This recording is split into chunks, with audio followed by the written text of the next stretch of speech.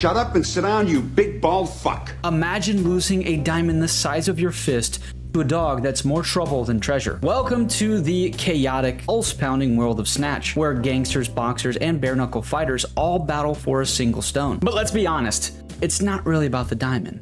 Is it? Welcome to Specialist Cinema. I am Chandler, and here we go beyond the screen, diving into deeper meanings to the movies that we both love. Let's break down the stories that stick with us one film at a time. If you enjoy videos like these, consider subscribing to keep videos coming weekly. So the movie starts, a gang of thieves disguised as Orthodox Jews pull off a daring heist in Antwerp, stealing an 86 carat diamond. That's a lot of money. Frankie Four Fingers is the ringleader, and he's sent to London to deliver the diamond on behalf of his cousin Avi a New York City jeweler with mafia ties. Now, here's where things start to unravel. Frankie's not just a thief, he's also got a serious gambling problem. And wouldn't you know it, on his way out of Antwerp, someone tells him to grab a gun from Boris, the Blade, an ex-KGB agent. Boris actually plans to steal the diamond back before Frankie can sell it. Why trust Boris, right? Wouldn't you think twice before dealing with a guy called the Blade? In a parallel story, a boxing promoter, Turkish, yeah, that's his name, gets roped into setting up a fight for the crime boss, Bricktop. His boxer, Gorgeous George,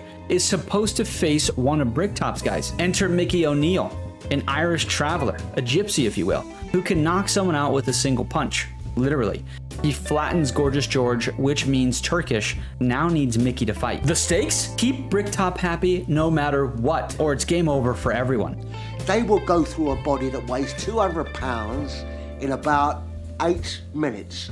That means that a single pig can consume two pounds of uncooked flesh every minute. Have you ever had like one simple job and it completely exploded in your face? That's Turkish right now. Meanwhile, Frankie makes his way to London with that diamond, but Boris gives him a gun in exchange for a small favor. Frankie is unfortunately a sucker for betting, so Boris tells him to place a wager with a local bookie, run by no other than Bricktop. But here's where it gets really juicy. Boris has secretly hired two low-level criminals, Vinny and Sol, to rob Frankie and get the diamond from him. Why do I love watching characters who are doomed from the very start? Frankie's addiction makes him predictable. And in a world like this, predictability gets you killed. And of course, the robbery goes wrong because, you know, this is how the film works. Now, Vinny and Sol trying to pull it off, but end up kidnapping Frankie instead. Avi, who's starting to panic about his precious diamond, not his cousin, flies to London to retrieve it personally. You hear that, Doug? I'm coming to London.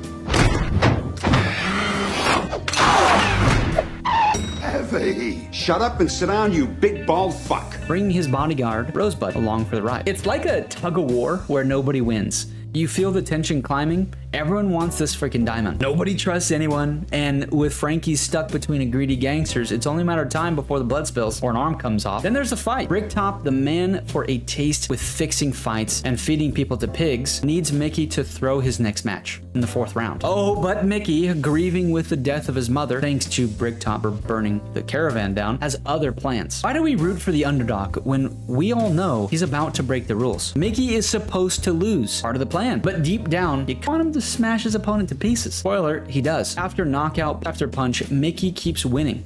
And when he's supposed to be losing, so it kind of looks bad for Bricktop. Okay, okay, picture this. Gangsters, guns, a crazy dog. That's what we're dealing with now. In a very unfortunate and desperate move, Avi accidentally kills Tony, his own bodyguard.